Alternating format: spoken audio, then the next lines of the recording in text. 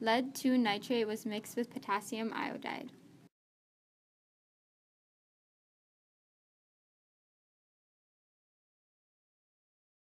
The product was lead 2 iodide and potassium nitrate.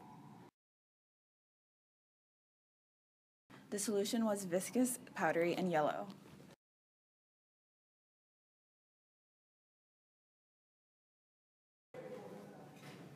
Lead 2 iodide went to the bottom of the test tube in the form of precipitate. Since it could not dissolve and produce ions, it was a solid.